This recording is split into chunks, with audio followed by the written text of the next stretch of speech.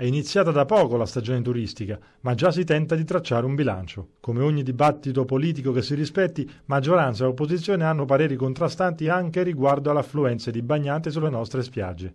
Negli ultimi fine settimana, complice il solleone, è sembrato evidente l'alto numero di turisti presenti sul litorale san benedettese, ma non sono mancate le lamentele di diversi operatori balneari colpiti da una crisi di presenze sembra irreversibile. Tutto a posto, grida invece il sindaco Gaspari, soddisfatto del via vai che caratterizza il fine settimana riverasco. Non è affatto dello stesso avviso invece il centrodestra, che denuncia una recessione di presenze estive.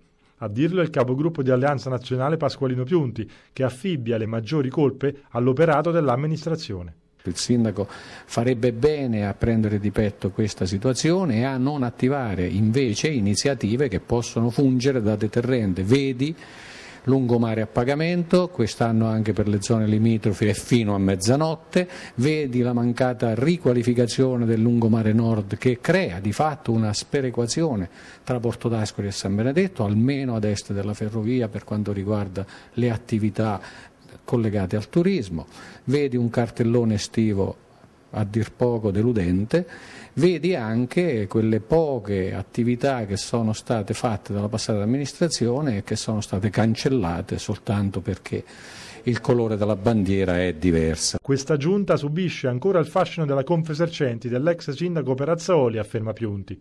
Solo sotto l'egida dell'associazione infatti si svolgono manifestazioni turistiche.